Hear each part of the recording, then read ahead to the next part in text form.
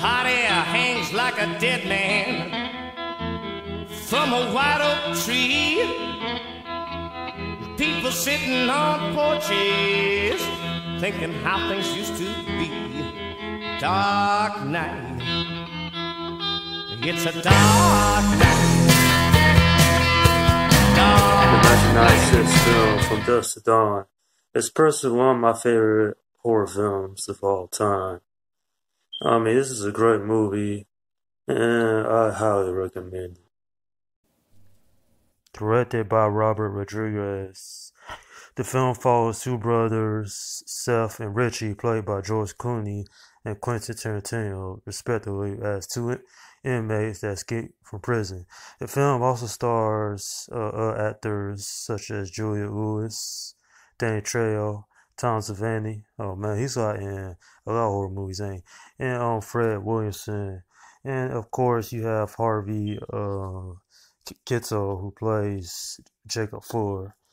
And um, after Seth and Richie kidnaps the Fuller family, they head down Mexico, and from there all hell breaks loose. I have to say, if, if you uh, took out the vampire element in this film, this still would have been a great film regardless. And um, you know, Quentin Tarantino and especially George Clooney do does amazing jobs in their roles, respectively. Not not even making thirty million the box office. This movie has become a cult fan favorite over the over um, the last twenty years by now, or, or I should to say over the last thirty years. Um, Robert Rodriguez did an amazing job directing this film. Um, the actors uh, really have chemistry, especially Seth and Richie. Uh, Richie, the crazy sex offender, you know, and everybody do does a fantastic job. And who could forget that lovely scene with a woman dancing with a snake in the film? I, I find that scene pretty interesting to watch. But um, anyway, um, this film is a cult classic, and it's a film that you, should just enjoy, like just check out and watch. It's just too bad the sequels that followed after this were just terrible. Okay, this film gets an 8 out of 10. Um, like I said beforehand, I really do enjoy this movie.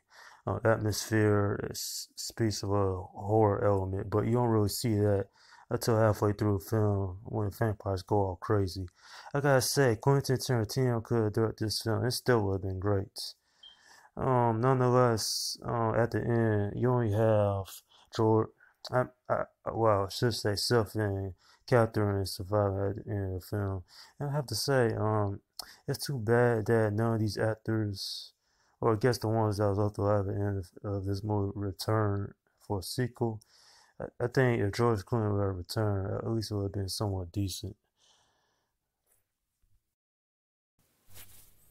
And that's my review from Dusk to Dawn. Now, leave your comments in the section below.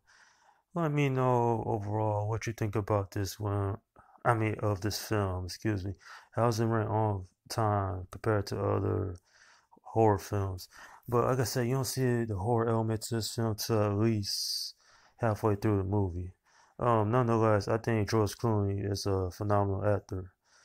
Like, like he he is a good actor nonetheless. Uh, so as Quentin Tarantino, everybody did nice job in this. Uh, the chemistry was on point. All right, this is Slim Guy one seven two saying peace out.